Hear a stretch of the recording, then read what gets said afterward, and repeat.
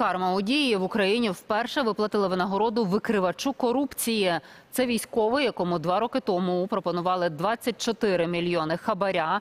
Він одразу повідомив про це в НАЗК. І апеляційна палата Вищого антикорупційного суду постановила виплатити військовому винагороду. Скільки саме і чи гарантує держава безпеку для таких викривачів, розкаже наша Людмила Гаврилюк. Мені запропонували в еквіваленті майже мільйон доларів на той момент да, за те, щоб аудит е, зробив, ну, був позитивний висновок аудита. Це мільйон доларів хабаря. Да, мільйон доларів хабаря.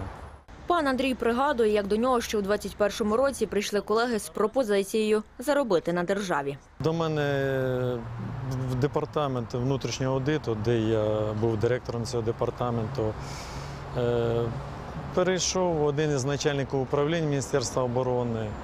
І от так прямо і сказав, що є, е, ми знаємо, що ви там працюєте над певним аудитом, є там певні труднощі. Як би це вирішити? Я говорю, що вирішити? Ну, щоб аудит пройшов. І суму запропонували відповідно, але з відкатом. Він каже, після того, е, як е, ти отримаєш ці 24 мільйони, ти ж розумієш, що моя ще посередницька робота, да, я би хотів за цю посередницьку роботу 30%. Пан Андрій тоді попрацював на посаді лише півроку, але після зустрічі одразу пішов до міністра. Вечором да, я доповів міністру оборони Андрію Тарану про цю ситуацію і вже потім діяли згідно законодавства. Слідчі заходи. Е, Це справа була затаємлена. Про цю справу знав міністр оборони, Міністерство оборони і я, да, і знали правоохоронці. Андрій Бойко став першим в Україні, хто отримав нагороду за повідомлення про хабарництво. Викрити корупціонера легше ніж здається. Для цього потрібно зайти на єдиний портал повідомлень викривачів і там подати повідомлення про корупцію. Далі вказати організацію, які хочете повідомити про хабар, написати дані того, кого підозрюєте в корупції, та зазначити свої. Важливо слів чи підозр недостатньо. Звинувачення потрібно підтвердити фото або відео доказами.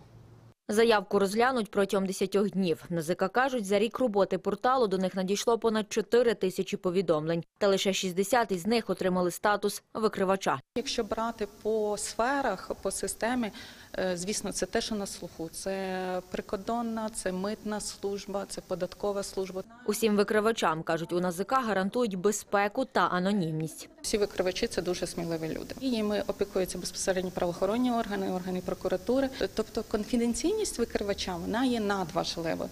Щоб отримати статус викривача і претендувати на винагороду, треба дотримуватися найважливішого правила. Заявник має працювати у тій сфері, а не бути випадковим свідком. Це може, може бути а, професійна діяльність, може бути наукова діяльність, громадська навіть діяльність. Винагороду може отримати фізична особа, яка а, заявила про корупційний злочин, предметом якого є або збитки від якого завдані державі. Наразі станом на жовтень це 5 мільйонів 140 тисяч гривень. Якщо людина повідомляє на суму менше за цю, тобто вона не може розраховувати право на нагороду. Винагороду ж отримують лише після рішення суду. Час виплати різний, та головне, на яку суму можна претендувати. Вона йде у розмірі 10 відсотків від е, е, предмету неправомірної виходи. Це 10 відсотків, але вони не в будь-якому випадку не можуть бути більшими 24 мільйона гривень. В Андрія Бойка суди тривали три роки, і свою винагороду він отримав нещодавно. Каже, цей шлях дався важко. намагалися будь-якими способами е, зробити те, щоб я не перебував на цій посаді. Це нелегко, особливо емоційно, але боротися за правду це правильний шлях. Історія пана Андрія зі щасливим кінцем, хоча в департаменті він вже не працює. А той, хто пропонував йому хабара, зараз за гратами. Людмила Гаврилюк, Євгеній Олінський. Ми Україна. Марафон. Єдині новини.